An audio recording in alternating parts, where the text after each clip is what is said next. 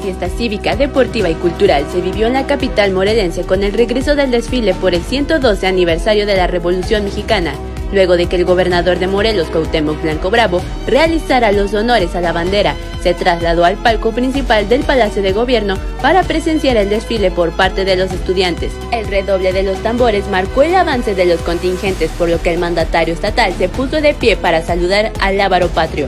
El desfile se llevó a cabo en un ambiente sano y festivo, en el que destacó la participación de los integrantes del Instituto del Deporte y Cultura Física del Estado y los ganadores del Premio Estatal del Deporte 2022. Cerca de 20 escuelas de nivel secundaria y superior, en las que destacan la UAM, UPEMOR y el IMPA Joven, realizaron rutinas deportivas de baile y caracterizados de adelitas y hombres revolucionarios.